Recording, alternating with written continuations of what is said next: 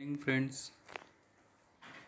The next topic, capacitance of a parallel plate capacitor with a conducting slab.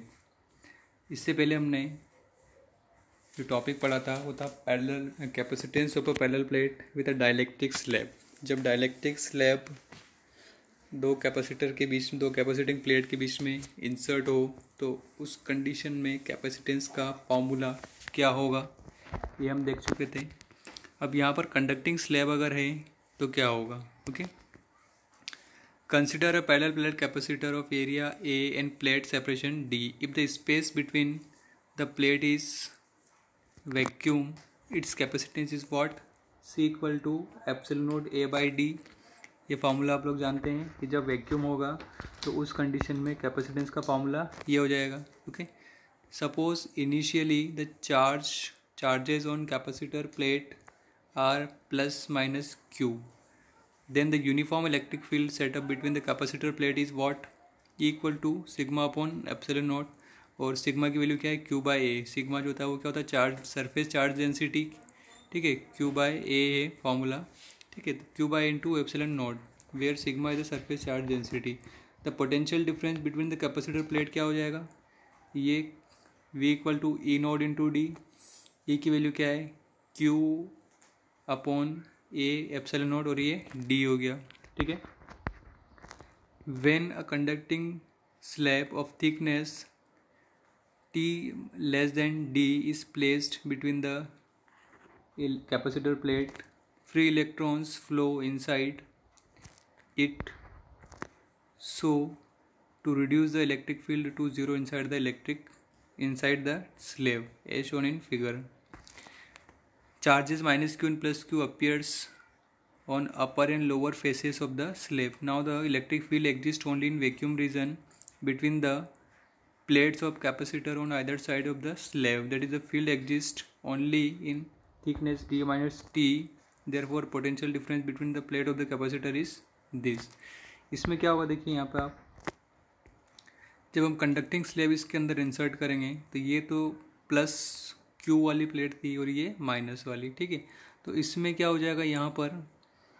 जब हमने ये thickness T वाली एक प्लेट इसके अंदर रखी है, ठीक है? तो यहाँ पर माइनस चार्जेस यहाँ पर इकट्ठे हो जाएँगे और यहाँ पे क्या हो जाएँगे? प्लस प्लस चार्जेस के अंदर हो जाएँगे, ठीक है?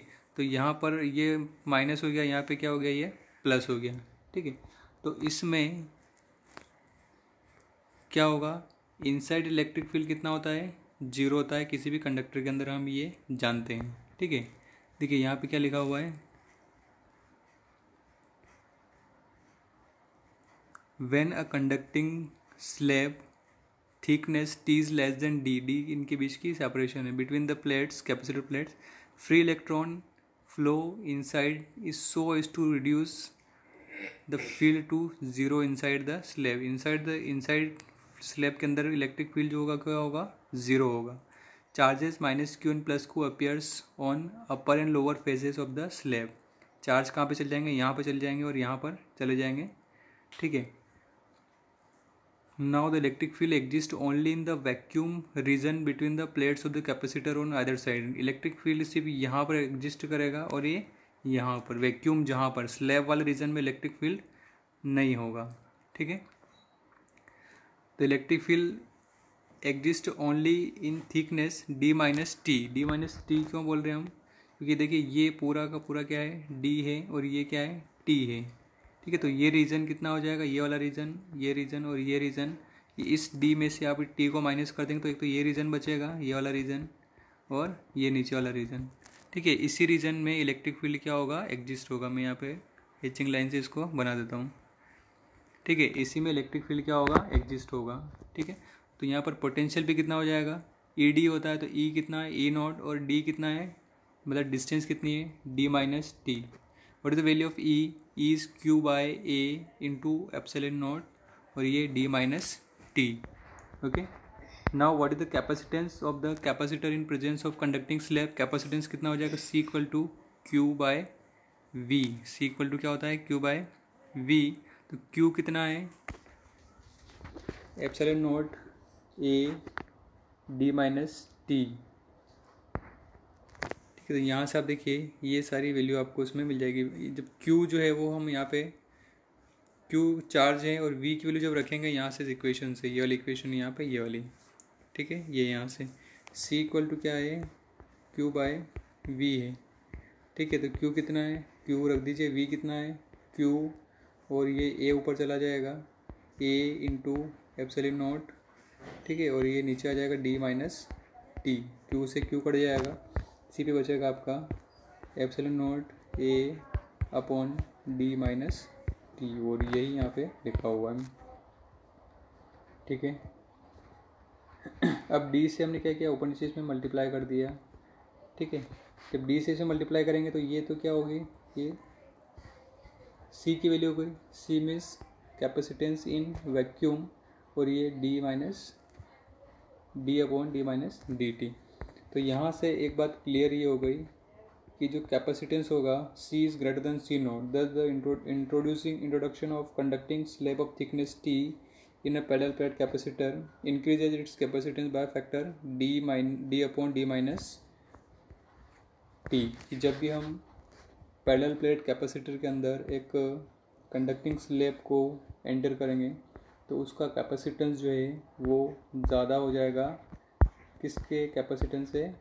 वैक्यूम मीडियम वाले कैपेसिटेंस से। और वो कितना ज़्यादा होगा? D upon d minus t ठीक है? कुछ यूजेज यहाँ पर है कैपेसिटर के। इसका यूज़ क्या है? To produce electric field of desire patterns Millikan experiment ठीक है मिलिकन एक्सपेरिमेंट जो है वो आप लोगों को अभी नहीं है इसमें सिलेबस में। ये देखिए in radio circuit for tuning radio circuit में आपने देखा होगा in power supplies for smoothing rectified current power supply में आपको मिल जाएगा। For producing rotating magnetic fields in induction motor. हमारे घरों में जितनी भी इंडक्शन मोटर है, ठीक है, फ़ैन में कैपेसिटर आपको मिल जाएगा देखने के लिए, कंडेंसर जिसको हम बोलते हैं, ठीक है, इंडक्शन मोटर में कंडेंसर लगा हुआ है, ठीक है, फ्रीज के अंदर कंडेंसर लगा हुआ है, कूलर के अंदर कंडेंसर लगा हुआ है, बहुत सारे ऐसे इक्विपमेंट हैं जिनके अंदर कंडेंसर या कैपेसिटर यूज़ होता है। एक टैंक सर्किट में भी होता है। टैंक सर्किट का मतलब होता है एक तरफ़ कैपेसिटर होता है और एक तरफ़ इंडक्टर होता है इस तरीके से। इसको हम बोलते हैं टैंक सर्किट इसमें charging discharging charging discharging process चलती है। ठीक है जो ऑसिलेटर का काम करता है। ठीक है फ्रीक्वेंसी के लिए हम इसको यूज़ करते हैं। They store not only charge but also energy in electric field between plates ठीक है ये सिर्फ़ चार्ज को स्टोर नहीं करता, इलेक्ट्रिक एनर्जी को भी क्या करता है? स्टोर करता है। ठीक है? अब ये जो नेक्स्ट है effect of dielectric on various parameters ठीक है? जब हमने डाइलेक्ट्रिक इंसर्ट करी तो जो भी अलग अलग पैरामीटर्स हैं, उन पर क्या क्या इफ़ेक्ट पड़ेगा? ठीक है? पैरामीटर्स मतलब क्या होगा एक तो चार्ज हो गया इलेक्ट्रिक फ़ील्ड हो गया पोटेंशियल डिफरेंस हो गया कैपेसिटेंस हो गया और एनर्जी हो गया। ठीक है? तो देखिए effect of dielectric when battery is kept disconnected from the capacitor ये क्वेश्चन आप लोग ध्यान, ये टॉपिक ध्यान से देखेंगे, इसके ऊपर न्यूमेरिकल बहुत ज़्यादा बनते हैं। What is the effect of dielectric when battery is kept disconnected from the capacitor battery जो है वो लगी हुई है। डिसकनेक्ट हमने kept disconnected from the supply battery अभी हमने नहीं लगाई। Let Q naught C naught V naught E naught ठीक है, ये क्या इलेक्ट्रिक फ़ील्ड हो गया? और यू नोट भी है यहाँ पे, ठीक है? तो एक तो चार्ज हो गया कैपेसिटेंस हो गया पोटेंशियल डिफरेंस हो गया इलेक्ट्रिक फ़ील्ड हो गया और एनर्जी स्टोर्ड हो गया, ठीक है? Before the dielectric slab is inserted जब हमने डायलैक्ट्रिक स्लेब इसके अंदर इंसर्ट नहीं करी थी। तो ये सारे फॉर्मूले हमारे पास में Q equal to C naught V naught C naught V naught E naught equal to what V naught by d U equal to one by two C naught V naught, square. ठीक है, ये हम पहले देख चुके हैं। अब charge, the charge on capacitor plates remains Q naught because the battery has disconnected before the insertion of dielectric slab तो उसके अंदर चार्जेस तो क्या रहेंगे? सेम रहेंगे। ठीक है? चार्जेस जो तो क्या रहेंगे? सेम रहेंगे क्योंकि बैटरी जो है वो क्या है? डिसकनेक्टेड है। ठीक है? नाउ इलेक्ट्रिक फ़ील्ड क्या होगा? When the dielectric slab is inserted between the plates, the introduced surface charge on dielectric reduces the field to a new value. Electric field क्या हो जाएगा? रिड्यूस हो जाएगा। कितना हो जाएगा? ई नोट बाय के मतलब जो भी डायलैक्ट्रिक स्लैब हम उसके अंदर इंसर्ट करेंगे then the electric field will be reduce electric field reduce क्यों होगा? क्योंकि आप इसका डेरिवेशन देखेंगे ये एक प्लेट है और इसमें जब हम डायलैक्ट्रिक स्लैब यहाँ पे डालेंगे, ठीक है, मान लीजिए ये प्लस अगर है और ये माइनस है, ठीक है तो यहाँ पर माइनस चार्जेस आ जाएँगे, यहाँ पे क्या आ जाएँगे प्लस चार्जेस आ जाएँगे, ठीक है तो एक नेट इलेक्ट्रिक फ़ील्ड इसका क्या होता है रिड्यूस हो जाता है और कितने टाइम से रिड्यूस होता है K time one by K time से रिड्यूस हो जाएगा, ठीक है, जब इलेक्ट्रिक फ़ील्ड रिड्यूस हुआ तो पोटेंशियल क्या होगा, वो भी रिड्यूस होगा, क्योंकि इलेक्ट्रिक फ़ील्ड और पोटेंशियल में ये रिलेशन होता है तो ये भी वी नोट बाई के से रिड्यूस हो जाएगा कैपेसिटेंस कैपेसिटेंस क्या होगा? सी इक्वल टू क्या होता है? क्यू नॉट बाई वी जब वी रिड्यूस हुआ तो सी हो जाए, क्या हो जाएगा? बढ़ जाएगा। क्योंकि कैपेसिटेंस वोल्टेज के इन्वर्सली प्रोपोर्शनल है if C is if V is decreases then C will be increases V जो है वो वन बाय के टाइम से रिड्यूस हो रहा है तो सी जो होगा वो के टाइम से क्या हो जाएगा? इंक्रीज हो जाएगा। ठीक ठीक है? Now next energy stored energy जो है वो क्या होगी? One by two C V square. तो सी सी जो है वो कितना इंक्रीज़ हुआ है इस वैल्यू से? ठीक है, जब सी इस वैल्यू से क्या हुआ है? इंक्रीज़ हुआ है। वन बाई टू के सी नॉट और वी भी क्या हुआ है? इंक्रीज़ हुआ है। तो एनर्जी भी क्या हो जाएगी? इसको जब हम सॉल्व करेंगे तो हमें क्या मिलेगा? देखिए, one by K, one by K one by two C naught V naught square. क्योंकि ये के स्क्वायर था तो ये के कट जाएगा यहाँ पर, ठीक है? तो ये जो एनर्जी है, ये प्रीवियस एनर्जी है, जिसको हम क्या बोलते हैं? यू नोट बोलते हैं, और ये के यहाँ पर ऑलरेडी तो इसका मतलब ये एनर्जी भी जो है वो क्या हो जाएगी? रिड्यूस हो जाएगी, ठीक है? एक और कंडीशन इसमें effect of dielectric when battery remains connected across the capacitor जब हमने बैटरी लगा रखी है बैटरी को डिसकनेक्ट नहीं किया हुआ है तो वही चीज़ हमने मान ली, ये सारी चीज़ें। ठीक है? तो अब क्या होगा देखिए पोटेंशियल डिफरेंस कितना होगा? इसमें as the battery remains connected across the capacitor so potential difference remain constant at V naught even after the introduction of dielectric slab जब आपने कैपेसिटर ये कैपेसिटर है, इसको एक बैटरी से कनेक्ट कर रखा है, जैसे ये प्लस हो गया, ये माइनस हो गया।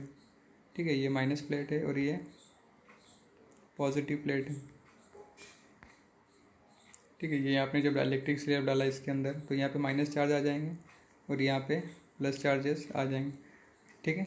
तो वोल्टेज यहाँ पर क्या हो रहा है? कंटिन्यूस मिल रहा है, ठीक है? वोल्टेज जो रहेगा वो कंटिन्यूस अप्लाई हो रही क्योंकि बैटरी लगी हुई है, ठीक है? तो वोल्टेज जो रहेगा वो क्या रहेगा? कॉन्स्टेंट रहेगा। Electric field as the potential difference remains unchange so electric field between the capacitor plates remains unchange ठीक है? कैपेसिटर जो पोटेंशियल डिफरेंस अगर सेम है तो इलेक्ट्रिक फ़ील्ड भी क्या होगा? ये भी सेम रहेगा। कैपेसिटेंस क्या हो जाएगा? इंक्रीज हो जाएगा के टाइम से, क्योंकि डायलैक्ट्रिक स्लेब जैसे हम डालेंगे, कैपेसिटेंस क्या होता है? बढ़ जाता है। चार्ज क्या होगा? Charge in capacity place also increases. Q naught to Q ठीक है, चार्ज भी क्या हो जाएगा? बढ़ जाएगा। क्यू इक्वल टू का तो सी भी होता है। तो सी कितना हो गया? के सी नोट। और ये तो वी नोट है तो के क्यू नोट टाइम्स चार्ज उसके बढ़ जाएँगे। एनर्जी जो है वो क्या होगी? एनर्जी भी क्या होगी? एनर्जी भी इंक्रीज होगी, क्योंकि क्योंकि सी इंक्रीज हो गया है। सी की वैल्यू क्या है? के सी नोट। ठीक है C naught V naught square तो K one by two C naught V naught square तो के टाइम्स एनर्जी भी क्या हो जाएगी? बढ़ जाएगी, ठीक है? तो आप इस टेबल को बिल्कुल अपनी कॉपी में बना लेंगे और ये सारे फॉर्मूले याद रख लेंगे। When battery disconnected when battery kept connected ठीक है? ये क्यू जो है वो सेम रहेगा, इसमें क्यू बढ़ जाएगा, इसमें वी डिक्रीज़ हो जाएगा, इसमें वी कांस्टेंट रहेगा, इसमें ई e डिक्रीज़ हो जाएगा, इसमें ई e कांस्टेंट रहेगा, इसमें सी बढ़ जाएगा, इसमें भी सी बढ़ेगा, इसमें एनर्जी डिक्रीज़ होगी, इसमें एनर्जी इंक्रीज़ हो जाएगी। ओके? ये इम्पोर्टेंट टेबल है, आप लोग इसको बना लेंगे। ओके? इसके कुछ और न्यूमेरिकल हैं, वो हम नेक्स्ट वीडियो में डिस्कस करेंगे। ओके?